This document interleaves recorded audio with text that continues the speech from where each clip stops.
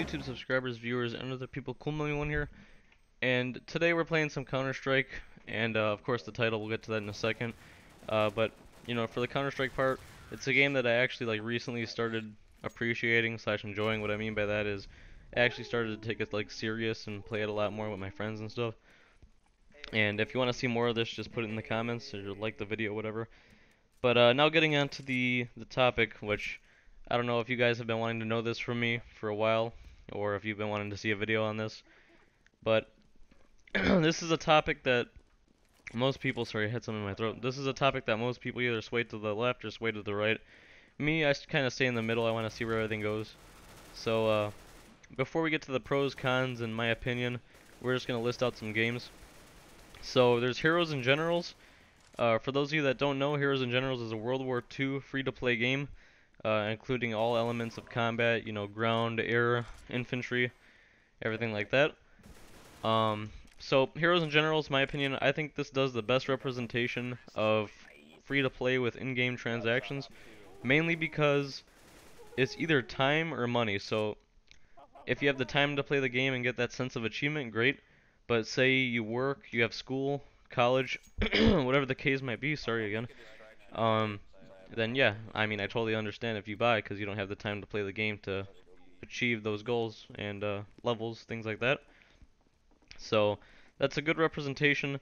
And as we get like lower in the list, you'll see like you know the change. Next is PlanetSide 2. Um, I don't think this does a good representation, mainly because uh, I don't know. It seems like you could funnel hundreds of dollars into this game, tens of hundreds of dollars into this game, and you won't you'll still feel kind of not having the advantage. I don't know how to word it. You'll still feel like you're below people. And you're probably thinking I'm just saying this, but I have played the game before. I've funneled I think only 20 bucks into the game and I still felt lower than everyone. I think you have to like funnel like 500 bucks into the game to actually feel like high up there. But then again, this is opinion.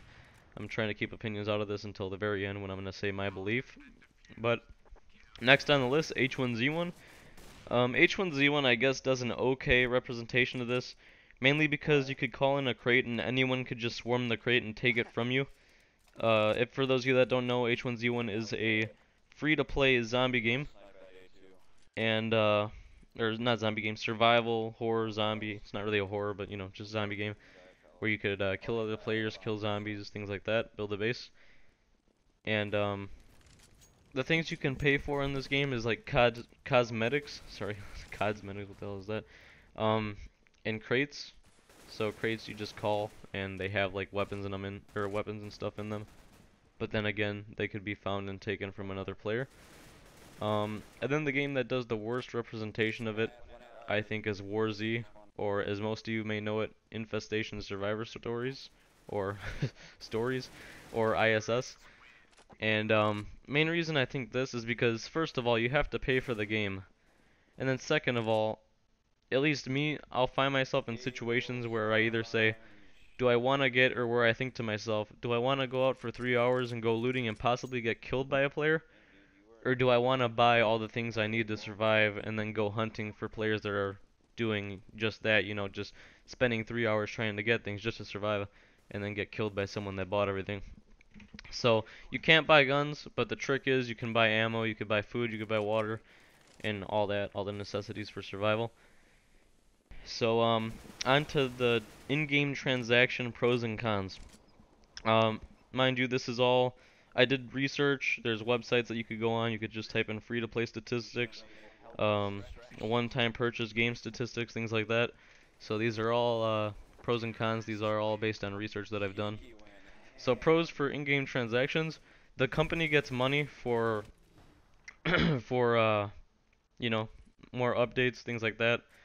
Um, and then we have the buy entertainment, so you could buy your entertainment like if you don't have the time or money. And then the third point is like pretty much just that, money versus time. If you don't have the time to play the game, maybe you have the money. Uh, if you don't have the money to play the game, maybe you have the time. So it all it's all just based on money versus time and the company rolling out updates.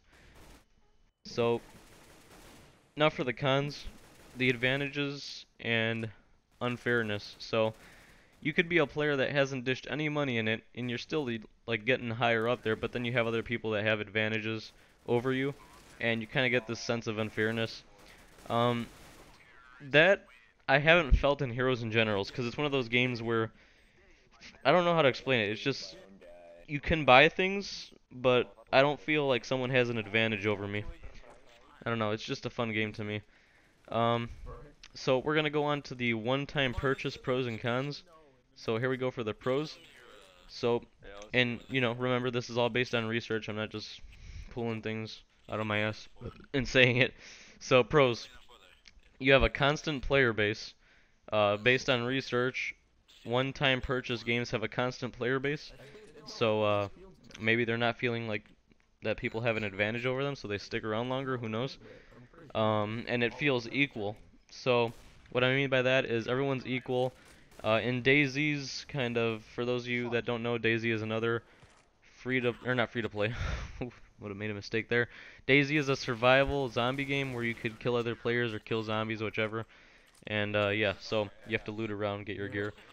So that game is equal because you know you loot around, no one can buy things, you could get killed, someone could take your gear, you know, whatever. You move on, and then uh, coming to my third point, there's little to no abandonment, which kind of ties in, ties into the first point, which is constant player base, mainly because some people run into the issue, oh, I don't have any more money to spend on this game, so they'll just abandon it until they do have money, based on research. And then the only con for the one-time purchase games that I've come across is the company doesn't get constant money for updates. But in DayZ's kind of perspective, I'm just using it as an example, I'm not being biased towards it or anything. Um, in DayZ's example, they are selling like millions of copies, and they're uh, they're putting out frequent updates, so that's a good thing. But for most games that do this, they can't roll out like frequent updates just due to money issues, uh, based on research, which I really haven't seen, but I guess it's research. Research is research. So now that we've gone through like points, things like that, um, let me tell you my belief. So my belief in a free-to-play game is that if you really enjoy the game, I would only pay about, you know, 40, 50, 60 bucks.